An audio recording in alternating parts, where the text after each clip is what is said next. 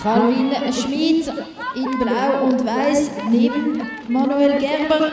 Manuel vor Calvin am Ende 9,33 in offizielle Zeit. 9,33 le temps du vainqueur de cette deuxième série. Il aura encore deux autres. Manuel Gerber, der schon 9,33 gelaufen war in dieser Saison.